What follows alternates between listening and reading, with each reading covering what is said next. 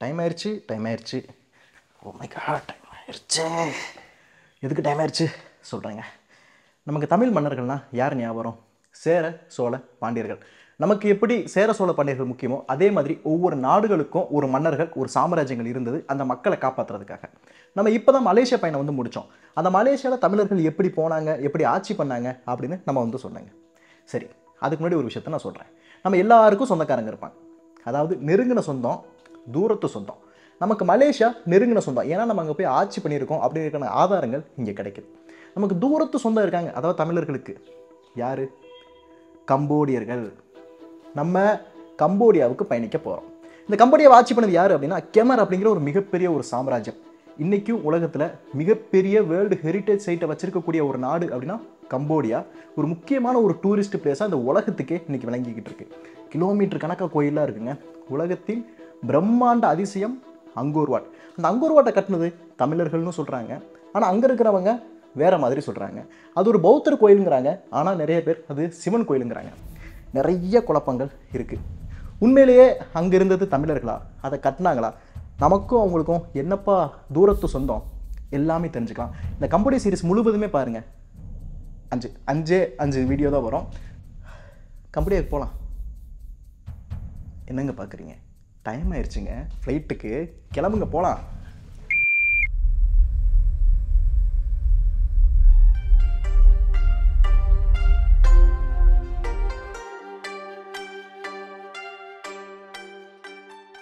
நம்ம கம்போடியா வந்துட்டோங்க. இந்த கம்போடியாவோட வரலாறு நம்ம தெரிஞ்சுக்கணும் அப்படின்னா இந்த வரலாறு எங்கே உருவாச்சோ அதே இடத்துக்கு நம்ம பயணிக்கிறோம். இந்த கம்போடியாவோட வரலாறு உருவான இடம் குலன் ஹில்ஸ் அது பக்கத்தில் இருக்கிற கோகர் அப்படிங்கிற ஒரு பிரமிடு கோயில். அந்த இடத்துக்கு தான் இப்போ நம்ம பயணம் பண்ணிக்கிட்டு இருக்கோம். ஒரு வழியாக அந்த ஆட்டோவில் ரெண்டரை மணி நேரம் பயணம் பண்ணி வந்துட்டாங்க. இதுக்கே முதுகுலாம் வலிக்குது. சரி இதுதான் நம்ம தேடி வந்த கோயில்.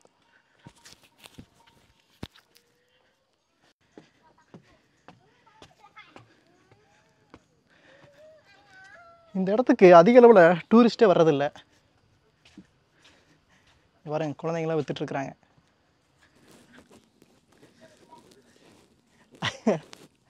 பாய். குழந்தைங்க வித்துட்ருக்குறாங்க சரி உள்ளே வருவோம். என்னடா இவ்வளோ பெரிய கல்லை மேலே கட்டி வச்சுருக்கீங்க?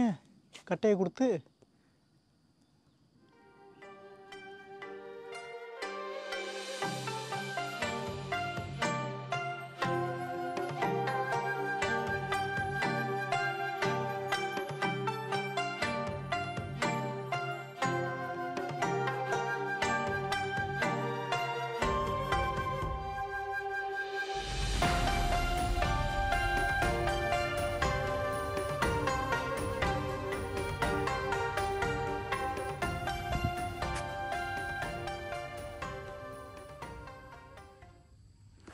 எல்லாம் உடஞ்சி கீழே சிதறி கிடக்கு பாருங்க இது எல்லாமே ஒரு காலத்தில் மிகப்பெரிய பிரம்மாண்டமான கோயில்களாக இருந்தது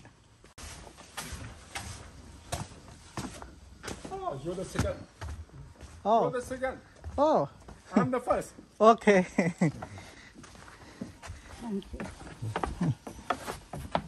Have a good day. Good day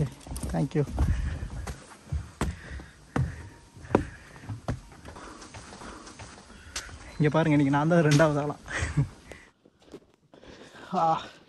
சரி. உள்ளே வந்துட்டோம். முத கதைக்கு வருவோம். அதாவது எல்லாத்தையும் கழட்டி வச்சுருவோம் முத. இப்போது நல்லா தெரிஞ்சுக்கோங்க. இப்போ நம்ம இருக்கிற இடம் வந்து கோ ஹெர் அப்படின்னு சொல்லுவாங்க. இந்த கம்போடியாவில் இப்போ நம்ம இருக்கிற சிஎம் ரீப்பில் இந்த அங்கோர் இந்த அங்கோர்னு சொல்கிறோம்ல இதெல்லாம் ஆட்சி பண்ணவங்க யார் அப்படின்னா கிமர் அப்படிங்கிற ஒரு பேரரசுங்க. கெமர் சாம்ராஜ்யம் அப்படின்னு சொல்லுவாங்க. இங்கே மக்கள் பேசுகிற மொழிக்கு பேரும் கெமர் தான். சரிங்களா? இந்த கெமர் சாம்ராஜ்யம் எப்போ உருவாகுது அப்படின்னா ஆறாம் நூற்றாண்டுலேருந்து உருவாகுது. அப்போ ஆறாம் நூற்றாண்டுலேருந்து இங்கே மக்கள் இருக்காங்களா அப்படின்னா இல்லைங்க. இவங்க வந்து ஆதி மனிதர்களில் இருந்தே இருக்காங்க அப்படின்னு அகழாய்வுகள் எல்லாமே சொல்லுது. ஒன்றாம் நூற்றாண்டுலேருந்து ஆறாம் நூற்றாண்டு வரைக்கும் ஹுனன் அப்படிங்கிற ஒரு சாம்ராஜ்யம் இருந்திருக்கு. அது அப்படியே வலுவிழந்து ஆறாம் நூற்றாண்டுக்கு அப்புறம் கெமர் அப்படிங்கிற ஒரு சாம்ராஜ்யம் உருவாகுது. இந்த கெமர் சாம்ராஜ்யம் ஆட்சி பண்ண மன்னர் யார் அப்படின்னா ஜெயவர்மன். வர்மன். இந்த வர்மன்ற பெயர் நீங்கள் நிறைய இடத்துல கேள்விப்பட்டிருக்கலாம். வர்மன் அப்படின்னா என்ன அர்த்தம் அப்படின்னா சமஸ்கிருதத்தில் பாதுகாவலன் அப்படின்ற ஒரு அர்த்தங்க. இங்கே ஆட்சி பண்ண அதாவது கெமர் வம்சத்தை உருவாக்கின ஒரு மன்னர் வந்து யார் அப்படின்னா இரண்டாம் ஜெயவர்மன் அப்படின்னு சொல்லலாம். அவர் ஆட்சி பண்ண பகுதி அவர் தலைமையிடமாக வச்சிருந்த இந்த பகுதி தான் இப்போ நம்ம இருக்கிற குலன் ஹில்ஸ் அப்படின்னு சொல்லலாம் நம்ம குலன் ஹில்ஸை ஒட்டி இருக்கிறப்ப கோகர் அப்படிங்கிற ஒரு இடத்துலையும் இருக்கும். இந்த கோகரை நாலாம் ஜெயவர்மன் உருவாக்கி இருக்கிறாருங்க இந்த கெமர் பேரரசு ஒரு ஆட்சி அப்படியே உருவாகிறது எந்த நூற்றாண்டு? ஆறாம் நூற்றாண்டு. இப்போது இவங்க தான் பல்லவர்களா? அப்படின்னா நம்ம அப்படியே இங்கே கம்போடியை விட்டுட்டு நேராக அங்கே போயிடலாம் நம்ம தமிழ்நாட்டுக்கு. களப்பிரர்கள் ஆட்சி காலம் களப்பிரர்கள் ஆட்சி முடிஞ்சு பல்லவர்கள் ஆட்சி பெருசாக வருது. இந்த பல்லவர்கள் ஆட்சி எந்த காலகட்டத்தில் வருது அப்படின்னா அதுவும் ஆறாம் நூற்றாண்டில் தான் வருது. அப்போ பல்லவ மன்னர்கள் பேர் என்ன? நம்ம காஞ்சிபுரத்தை ஆட்சி பண்ணாரே. மகாபலிபுரத்தை கட்டினாரே. அவர் பேர் என்ன? மகேந்திரவர்மன். மகேந்திரவர்ம பல்லவன். அங்கீவர்மன் இங்கீவர்மன் நமக்கு தெளிவாக வரலாற்று குறிப்புகள் இருக்குது பல்லவர்கள் தங்களுடைய படைகளை பெருசாக திரட்டினாங்க. தெற்கு ஆசிய நாடுகளில் மேலே படையெடுத்தாங்க அதாவது இன்னும் குறிப்பாக சொல்லணும் அப்படின்னா வியட்நாம் மேலெலாம் போய் அங்கே படையெடுத்து போனாங்க அப்படிங்கிற குறிப்புகள் இருக்குங்க. படையெடுத்து மட்டும் போகலை அதுக்கு பின்னாடியும் பல வருட காலமாக பல நூற்றாண்டு காலமாக வணிக தொடர்பு வச்சுருந்துருக்குறாங்க அப்படிங்கிறதுக்கான கல்வெட்டு ஆதாரங்களுமே இருக்குது இன்னும் குறிப்பாக சொல்லணும் அப்படின்னா நம்ம ராஜேந்திர சோழன் கடல் கடந்து வந்து எந்த இடத்த பிடிச்சாரு? கட்டாரத்தை பிடிச்சாரு. அப்போது அவருக்கு உதவியதெல்லாம் யார் அப்படின்னா இங்கே இருந்த கெமர் சாம்ராஜ்யம் அவருக்கு உதவி இருக்கிறாங்க அப்படின்னு சொல்லலாம். இந்த கெமர் அதாவது இப்போ நம்ம இருக்கிற இந்த கம்போடியாவுக்கும் நம்ம தமிழர்களுக்கும் நிறைய வகையான தொடர்பு இருக்குங்க. இப்போ நம்ம இருக்கிற இடத்துக்கு அதிக அளவில் டூரிஸ்ட்டோ இல்லை யாருமே வர்றது கிடையாது. ஏன் அப்படின்னா இது ஊர்லேருந்து கிட்டத்தட்ட நூற்றி இருபது கிலோமீட்டர் தொலைவில் இருக்குது பஸ் வசதி எதுவுமே கிடையாது. அப்புறம் எப்படி வருவாங்க மக்கள்? சரி இப்போது இந்த கெமர் சாம்ராஜ்யம் முதல்ல நிறைய கோயில்களை வந்து கட்டியிருக்கிறாங்க. இங்கேருந்த மன்னர்கள் எந்த மதத்தை பின்பற்றிருக்கிறாங்க அப்படின்னா இந்து மதத்தை தான் பின்பற்றிருக்கிறாங்க. எக்கச்சக்கமான சிவபெருமானுடைய சிலைகளும் சிவன் கோயில்களும் இருக்கும். இப்போ நம்ம இருக்கிறதே ஒரு கோயில் தான். ஆனால் உடஞ்சி போன ஒரு கோயில். முதல் எப்படி இருக்குன்னு சுற்றி பார்த்துடலாம்.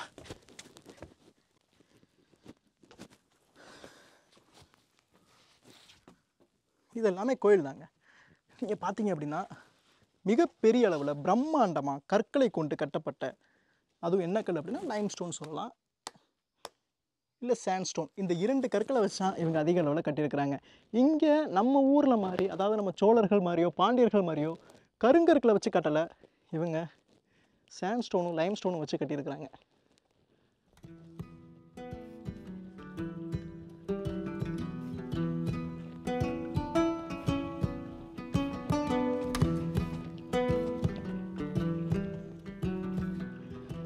இந்த கோயிலோட அமைப்பு இது ஒரு கோயில் தாங்க. இதோட அமைப்பு நீங்கள் பார்த்தீங்க அப்படின்னா ஒரு பிரமிடு போலயே கட்டப்பட்டிருக்கிறது உங்களுக்கு தெரியும். தெரியுதா? அடுக்கடுக்கா. ஒன்று ரெண்டு மூணு நாலு அஞ்சு ஆறு ஏழு. ஏழு நிலைகளை குறிக்கிறாங்க. இதுக்கு மேலே வரைக்கும் போகிறதுக்கு பாதையெல்லாம் வச்சுருந்துருக்குறாங்க. இப்போ போக முடியுமான்னு தெரிலையே இல்லை கம்பி கம்பியாக போட்டு வச்சுருக்குறாங்க. இங்கே மிகப்பெரிய தூண்கள் இருந்திருக்கு. அந்த தூண்களை உடஞ்சி விழுந்ததையும் நம்மளால் பார்க்க முடியுது. பாருங்கள் எவ்வளோ பிரம்மாண்டமான தூண்கள்.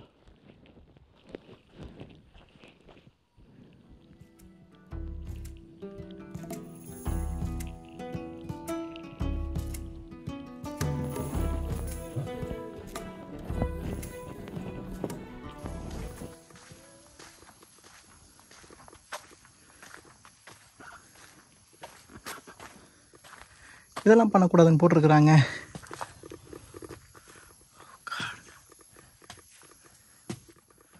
பரவாயில்ல. இந்த அரசாங்கம் மேலே போய் பார்க்குறதுக்காக இந்த மாதிரி கட்டைகள்லாம் அடுக்கி கொடுத்துருக்குறாங்க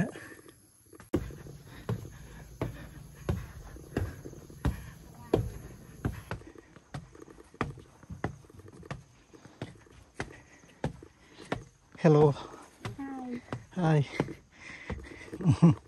Oh, half. It's all. Ada. Yeah. மேலே வந்துட்டோங்க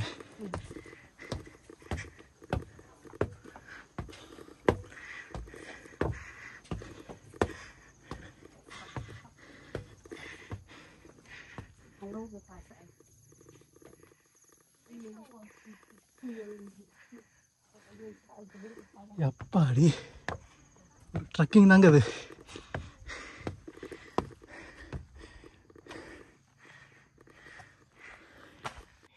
மேலே வந்து வந்துட்டோம்.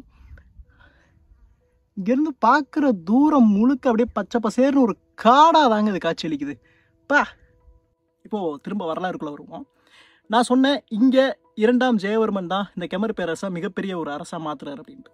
எத்தனை வருஷ காலம்பா அவங்க மிகப்பெரிய ஒரு சாம்ராஜ்யமாக இருந்தாங்க அப்படின்னா கிட்டத்தட்ட ஒரு அறநூறு வருடங்கள் எட்டாம் ஜெயவர்மன் வரைக்குமே இது மிகப்பெரிய ஒரு கெமர் சாம்ராஜ்யமாக தான் விளங்கி இருக்குங்க இந்த கெமர் சாம்ராஜ்யம் முதல்ல பின்பற்றிக்கிட்டு இருந்த ஒரு மதம் என்ன அப்படின்னா இந்து மதம் தான். அதாவது இவங்க கும்பிட்டது யார் அப்படின்னா சிவபெருமானையும் விஷ்ணு பகவானையும் தான்.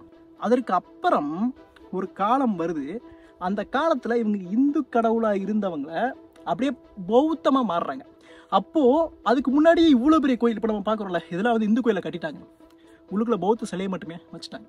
இன்றைக்குமே நீங்கள் இதெல்லாம் வந்தீங்கன்னா இதில் வந்து ஒரு பௌத்த கண்ட்ரி அப்படி இப்படின்னு இருக்கும். ஆனால் உண்மையிலேயே சொல்ல போனால் இது எல்லாம் ஒரு சிவன் கோயில் தான். நம்ம இன்னும் வர வர போகிற காணொலிகளில் ஆதாரத்தோடைய நம்ம பார்க்க போகிறோம்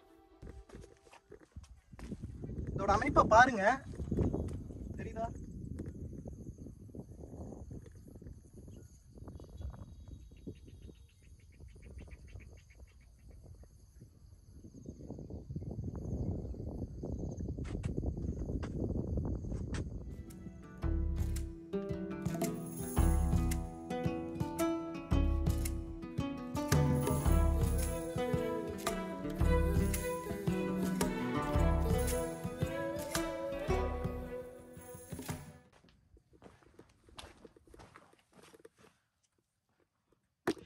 கீழே வரைக்குமே இந்த துவாரம் போகுது. இந்த ஒவ்வொரு கல்லையும் இந்த மாதிரி சின்ன சின்னதாக ஓட்ட போட்டிருக்காங்க பாருங்கள் இதெல்லாம் ரெண்டு கம்பெல்லாம் கொடுத்து தூக்கிட்டு வரதுக்காக வச்சுருந்துருக்காங்க.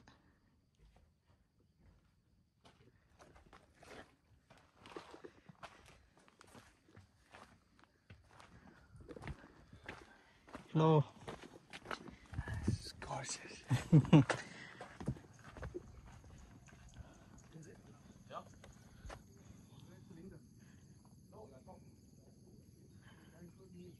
பாருங்க இதான் வந்த பாதை.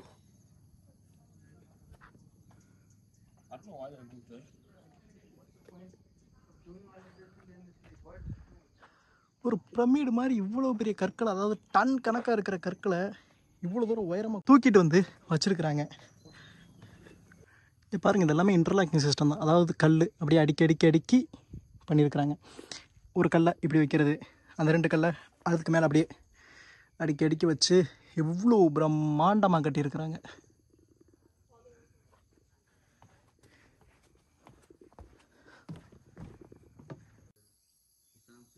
வந்த பாதையை பாருங்க. பா. ஒரு நல்ல அருமையான ஒரு கோயில் மேலே போன மாதிரி ஒரு அனுபவம். சரி அப்படியே இந்த கோயில் சுற்றி பார்க்கலாம். இவ்வளோ பிரம்மாண்டமான ஒரு பிரமிடு கோயிலாக இருக்கே. எங்கே மூலவர் எங்கே சிவபெருமான் அப்படின்னு நம்ம பார்த்தோம் அப்படின்னா இப்போது இங்கே ஒரு சிவன் சிலைகள் கூட கிடையாதுங்க. பல நூற்றாண்டு காலமாக இந்த இடத்த யாரும் பயன்படுத்தாத ஒரு காரணத்தினால ரொம்பவே அழிஞ்சு உடஞ்சு போய் கிடக்கு இந்த இடம். ஆனால் இந்த அரசாங்கம் இன்னைக்கு இதை ஒரு சுற்றுலாத்தலமாக மட்டும் மாற்றி வந்து வச்சுருக்கிறாங்க. சரிங்க இங்கே இருந்த சிலைங்கள்லாம் எங்கே அப்படின்னு நான் இங்கே இருக்கிறவங்ககிட்ட கேட்டதுக்கு இங்கே இருந்த எல்லா சிலைகளையும் பக்கத்தில் இருக்கிற ஒரு மியூசியமில் கொண்டு போய் வச்சுட்டதா அவங்க சொன்னாங்க.